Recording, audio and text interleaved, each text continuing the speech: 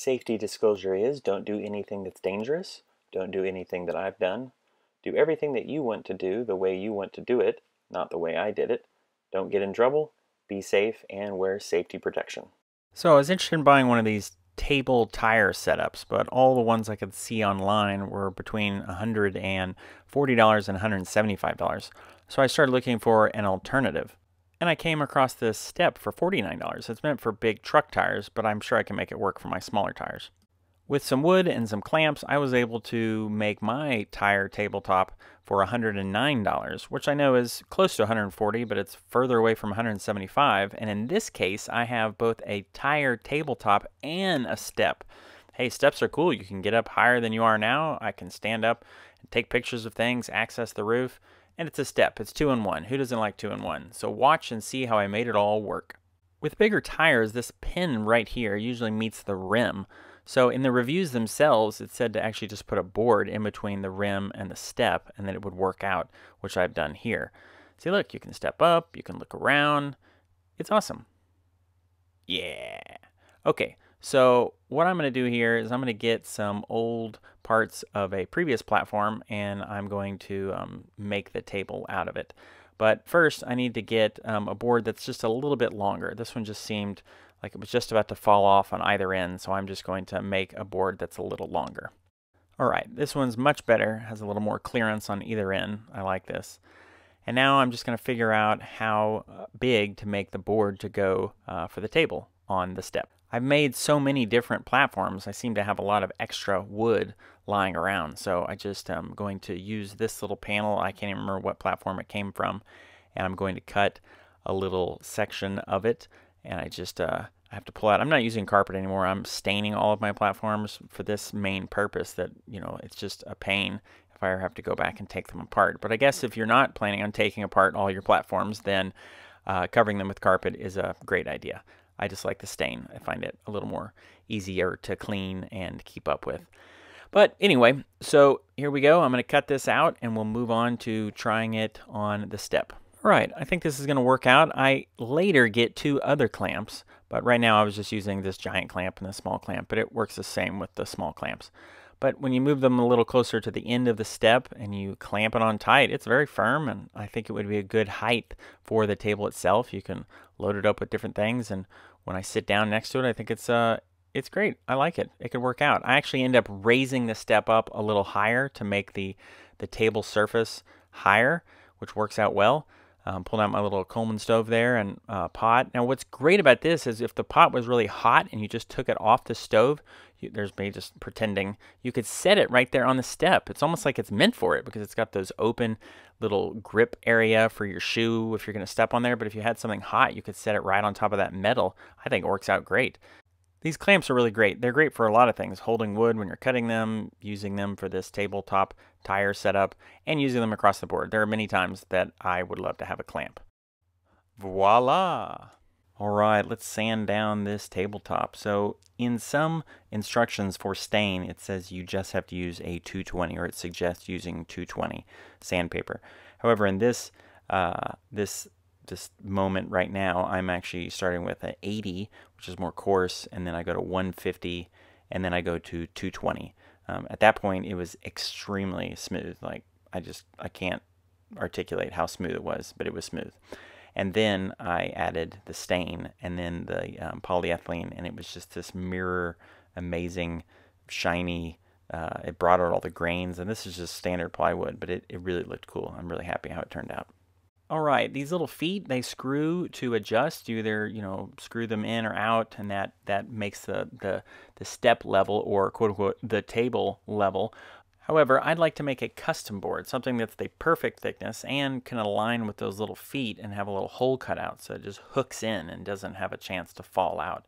So I'm seeing here taping together a few boards that I've uh, I think is the right thickness, and I'm going to try it out on the step here in just a second and that if it is the right thickness, which it ends up being, then I'm going to get another number of boards that aren't these and stick them all together and start building my my custom board. But yeah, I'm just gonna I'm gonna unscrew the little feet here so just the little black part, the little knob there is against the board.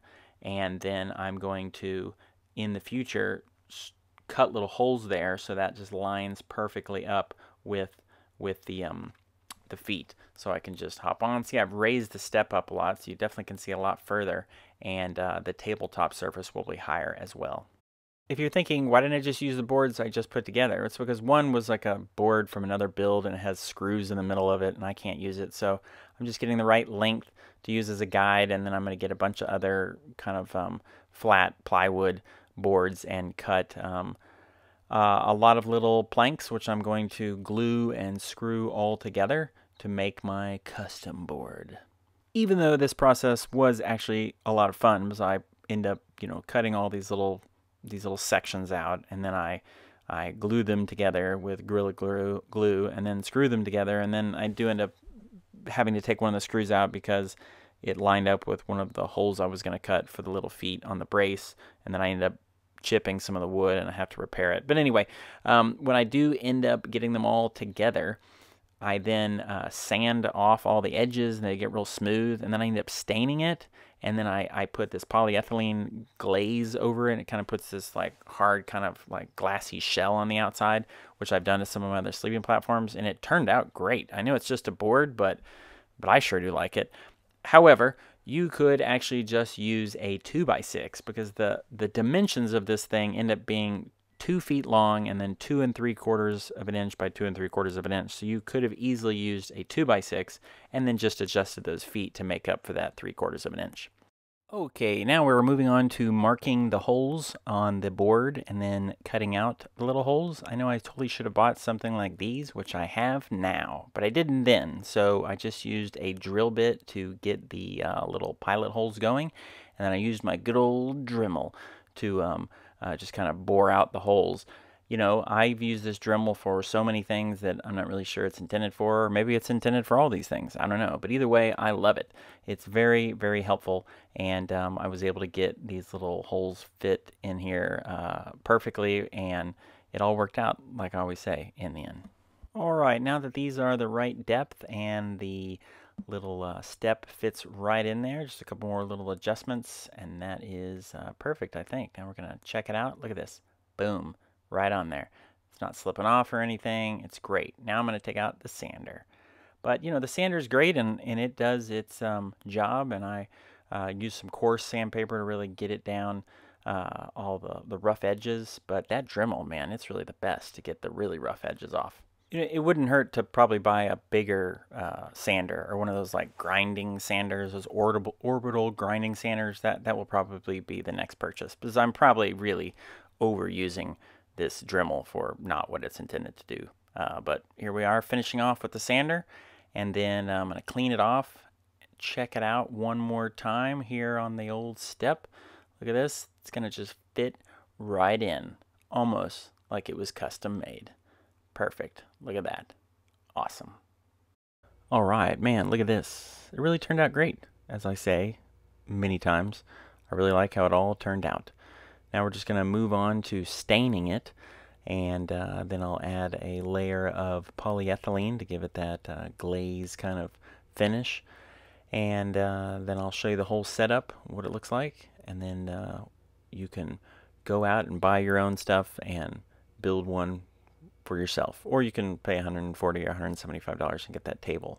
But you know with this setup you get two things. You get a table and a step. Two in one. Who doesn't like two in one? I like two in one. But you know, to each their own. It took me a little while to figure out the best adjustment for this step, but I have it here. It's basically two little exposed um, holes at the bottom and on the top, and that was perfect for this setup.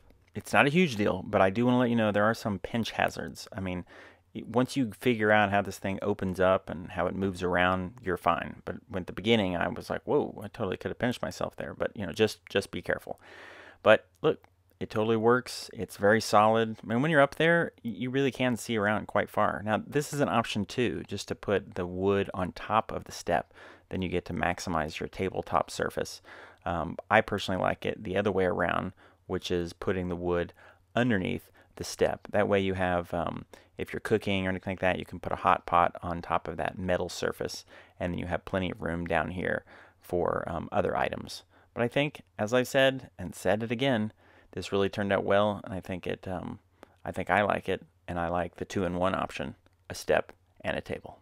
Thank you for watching Subaru Sleeping with Carson. I know we didn't do a platform, but I like to change it up a little bit, have some different options on there.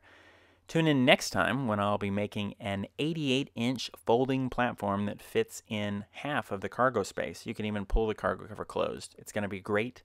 If you're not subscribed, please subscribe and you'll see when that arrives to my channel. Thanks again. See you next time.